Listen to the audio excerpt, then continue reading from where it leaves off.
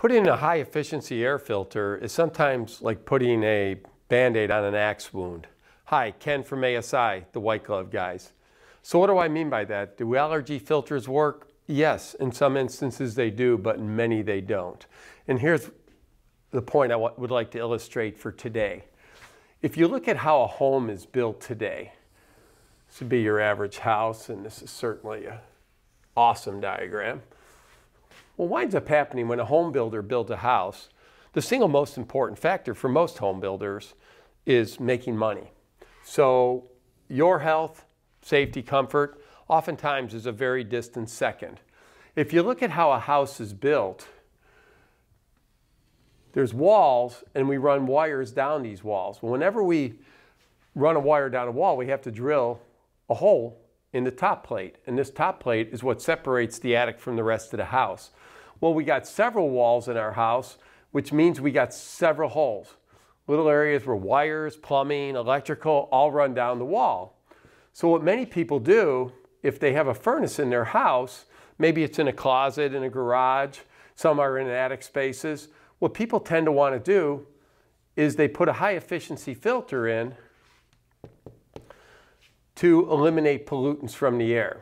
Okay, but what happens is when the system turns on, oftentimes your house in, has a negative pressure on it because of duct leakage and a variety of other reasons. Well, what, what happens then is all the polluted air, all the little bit of pollutants, they make their way down the walls through light switches, through switch cans, and all these different areas. Sometimes you even have ceiling cans, like people have uh, many of them in their ceiling, these little light cans to light up the rooms. Well, for many of these light cans, you can actually get in your attic and look down and actually look into your house. These, when you add up all of these holes from all of the um, wiring, all the plumbing, these various holes, the average 1,500 square foot house winds up with a hole about the size of a hula hoop. So it's like having this giant hole right in your ceiling. Okay? So now we go out and we buy a high efficiency air filter. Well, as we circulate the air, we start removing particulate. But at the same time, more pollutants are coming down the wall and into your house through all these various points where you got holes. Okay? So now I just want to kind of give you a boat analogy here. If this was a boat and I had a hole in the boat, what would you do?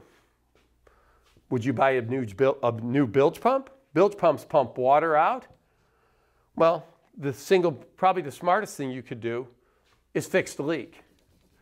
And that's the same thing that's going on right here. We're using an air filter to remove the pollutants. Well, if we don't let the pollutants in the house to begin with, we wouldn't have to remove them, or we'd have to remove a lot less. So much like a boat, the first thing we do is come in and seal the leak. Your attic space should be considered to be part of the great outdoors, not part of the inside of your home. So if you look at your house and say, well, here's my duct system inside of my attic, the inside of your duct system should also be regarded as inside the home. So if we seal up all the leaks in our ductwork, we seal up all the leaks in our ceiling cans, all the penetrations, we, what, essentially what we do is we completely separate the inside from the outside. Okay?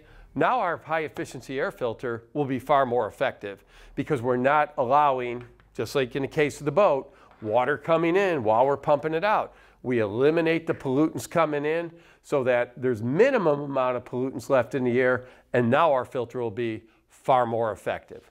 Thank you. Appreciate your time today.